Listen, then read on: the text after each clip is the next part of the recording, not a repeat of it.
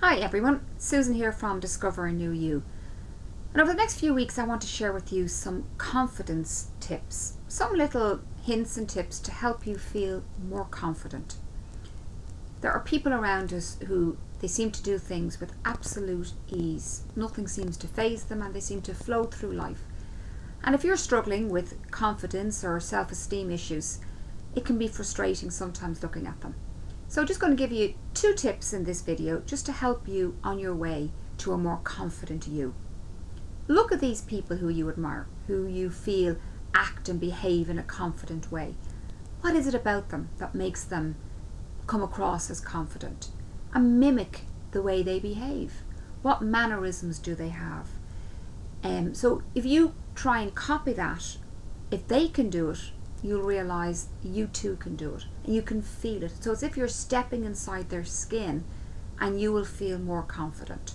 For me, I always find if I wear a shoe or a boot with a slightly higher heel, it kind of lifts me up. I find I carry myself better and when I'm that little bit higher, taller, I feel more confident.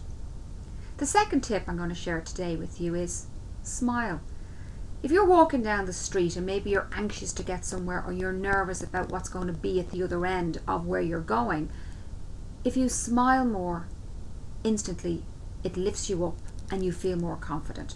I'm not saying put on a silly grin and people might look at you and think, God, what's wrong with her or him?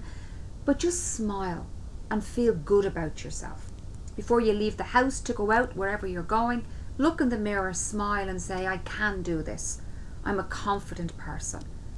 So there's two tips. Act like a person who you admire, who's confident, mimic their behaviors, and smile more.